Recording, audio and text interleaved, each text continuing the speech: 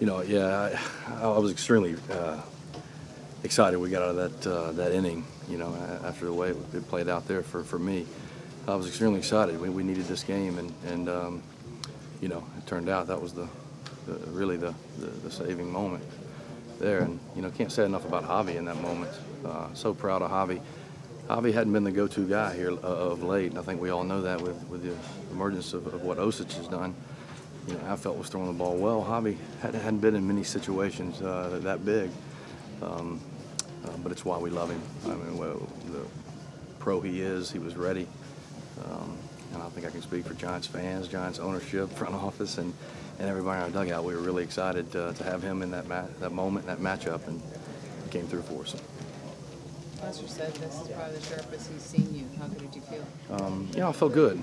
Um, uh, body has has come along, and, and um, mechanics have, have, have starting to figure themselves out to where I can make some adjustments. Um, that extra day always helps too. You know, we had an extra day coming off the Pittsburgh start.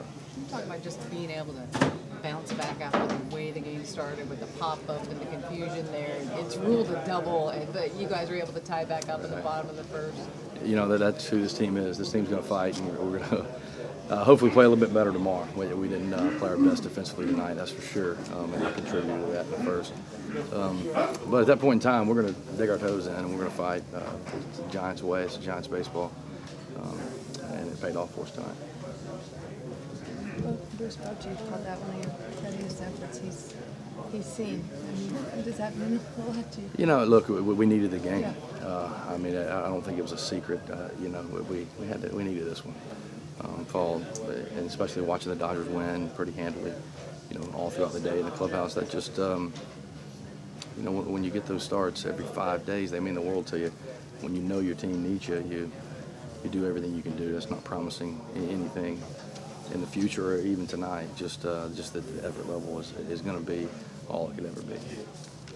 You were able to get the ball in the park too against this Cubs team, was Right. obviously get a lot of home runs. Uh, that had to have been key for this game. Yeah, you know, I mean, obviously, I thought Cainer pitched well. You know, we getting ready for the start. I'm, I'm going to dissect that start uh, to the utmost, and it just the balls that he missed with over the plate got hit really hard.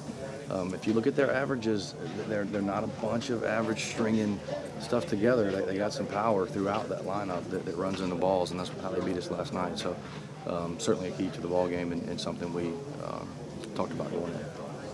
You know, Von Burnham have been the most consistent pitchers, probably in the last month for this team. How do you explain your consistency so far?